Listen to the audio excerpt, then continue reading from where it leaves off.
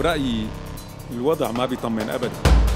شيرين! طفح الكيل. بدي موتك وأخلص منك. وشيرين. لك أي نوع من البنات انت؟ ما وقفت كذب بعد. شوفي لسه عندك اكاذيب تانية. بس خلص كفي لهون دمرتي كل شيء امرأة يوميا 7 إلى ربع المساء على الام تي في